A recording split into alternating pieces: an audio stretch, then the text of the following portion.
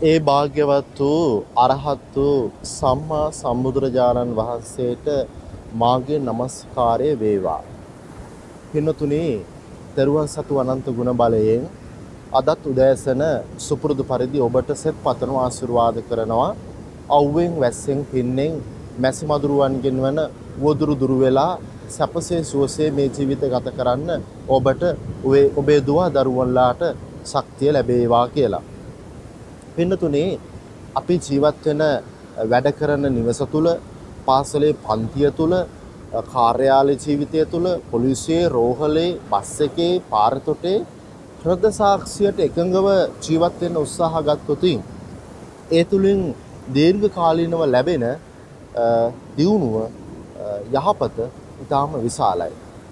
යමක් ලැබෙනවා නම් ඕනම නරක වැඩක් කරන්න ඕනම මේ මේ මේ නොගැලපෙන දෙයක් කරන්න යනවට වඩා ගැළපෙන දේ කරලා නිවැරදි දේ කරලා යමක් ලැබෙනවා නම් ඒ ලැබෙන දේ ජීවිතේ කාල පුරාවටම පවතිනවා. පෙන්නතුනේ එක් ගුරුවරයෙක් තමන්ගේ එකම දුව විවාහ කරලා දෙන්න සුදුසු තරුණයෙක්ව සොයන්න පරීක්ෂණයක් කළා. තමන්ගේ ශිෂ්‍ය ඔක්කොටම එන්න කිව්වා. ශිෂ්‍යයන්ට කිව්වා මගේ දුව විවාහ කරලා දෙන්න හදන්නේ මම සුදුස්සෙක් දක්ෂයෙක් තෝරනවා. ඒ සඳහා මම කරනවා එක පරීක්ෂණයක්. ඒ තමයි රැයට රැයට දින 7ක් තිස්සේ මේ ගමේ ගෙවල් වලට පැනලා හොරාට බඩු අරගෙන එන්න ඕන. වැඩිපුරම බඩු ගෙනාපු කෙනාට තමයි මගේ දුව විවාහ කරලා දෙන්නේ. ඉතින් මෙහෙම කිව්වහම පින්නතුනේ අර තරුණයෝ හැමෝම පුදුම සතුටක් ඇති වුණා. මේ මෙහෙම අවස්ථා ලැබෙන්නේ මේක දුර්ලභ අවස්ථාවක්. පස්සේ සියලුම තරුණයෝ රෑ ගියා ගෙවල් වලට. ගෙවල් වලට පැනලා පළවෙනි දවසේ දැන් ඔක්කොම බඩු ටික ගෙනල්ලා දුන්නා. ඊට පස්සේ දැන් උදේ සියලුම තරුණයෝ ගෙන්නලා වුණෝන් ගෙනාපුවා වුණෝන්ගේ නම් යටතේ ගුරුතුමා දැන් නම කියනවා ගෙනාපු භාණ්ඩ ගෑන කියනවා පළවෙනි දවසේ. එක නමක් තියෙනවා පින්නතුනේ ඒ ශිෂ්‍යයා මොකුත් ගෙනල්ලා නැහැ. ඒක කතා කරලා හැබැයි ඔබ මොකුත් ගෙනාවේ නැත්තේ. ඔබට අවශ්‍ය නැද්ද මේ වැඩේ? නෑ නෑ. මට මටත් අවශ්‍යයි.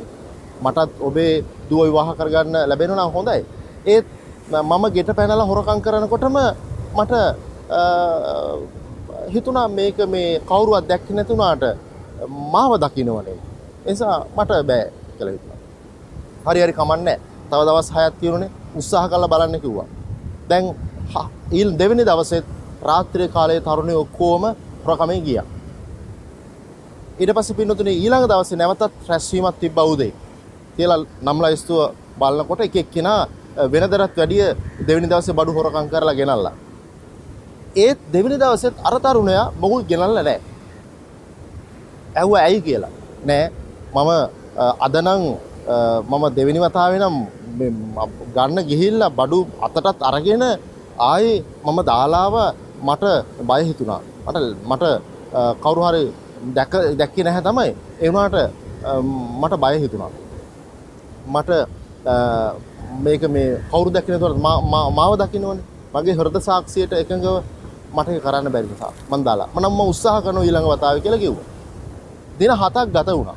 7 වෙනි දවසේ අවසානයේදී පින්නතුනේ සියලුම ශිෂ්‍යයන්ගේ නම් ලයිස්තු බලනකොට අර පළවෙනි දවසේ හොරකම් කරලා ගෙන ආපු නැති දරුවා ශිෂ්‍යයා දවස් 7ෙම මොකුත් ගෙනලා නැහැ.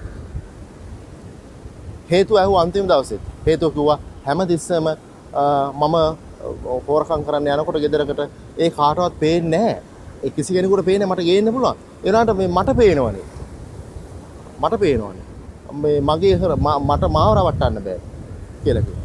ඊට පස්සේ පින්නතුනේ ගුරුවරයා කියනවා මේ සියලුම ශිෂ්‍යයන් අතරින් මගේ දුව විවාහ කරන්න තියෙන නියම සුදුස්සා තමයි ඔබ.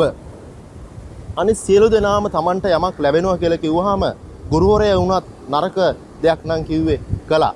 හැබැයි ඔබ ඔබ ඔබට එකඟව වැඩ ඔබට එකඟව වැඩ කළා. ඔබේ හෘද සාක්ෂියට එකඟව වැඩ කළා. පින්නතුනේ අපි ආයතනයක වැඩ කරනකොට අපි නිවසේ ජීවත් වෙනකොට පාසල ජීවත් වෙනකොට ගුරුවරු අපිව පරීක්ෂා කරනවා. අපේ දෙමව්පියෝ අපිව පරීක්ෂා කරනවා. අපේ ඉහළ නිලධාරීන් අපිව පරීක්ෂා කරනවා. අපේ වැඩිහිටියෝ අපිව පරීක්ෂා කරනවා. අපි කියපුවා මතකද කියලා බලනවා. අපි එපා කියපුවා කරනවද කියලා බලනවා, සොයනවා. එහෙමනම් මතක තබා ගන්න හරි දේ හරි වැරදි දේ වැරදි. ඒක කාලයක් ගිහිල්ලා හරිදේ වැරදි බවට පත් වෙන්නේ නැහැ.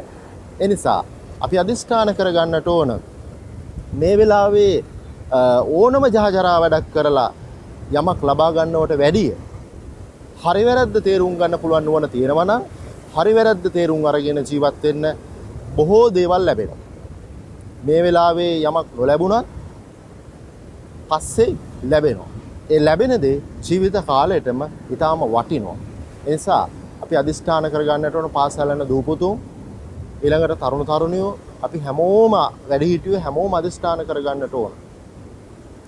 හොරකමෙන්, බොරුවෙන්, වංචාවෙන් වෙනත් වෙනත් ක්‍රමවලින් ජීවිතයේ අවශ්‍ය කරන දේවල් සපුර ගන්නවා වෙනුවට ඉවසීම, කරුණාව, manussකම, අරපිරිමැස්ම, දුරදක්නා නුවණ වැඩිහිටියන්ගේ දෙමව්පියන්ගේ ගුරුවරුන්ගේ අවවාද සිහිය තබාගෙන ලැජ්ජ බය හිසිහියේ තබාගෙන ජීවිතයේ අරමුණු ඉලක්ක සපුර ගන්න. ඔබ සියලු දෙනාටම තෙරුවන් සරණයි. විඩාබර ඔබේ සිතට සැනසුම උදා කරගන්න බුදුබණ පදයක් අසා සිත නිවාගන්න දිනපතා නවතම ධර්මදේශනා ශ්‍රවණය කරන්න අපව සබස්ක්‍රයිබ් කරන්න. ඔබට තෙරුවන් සරණයි.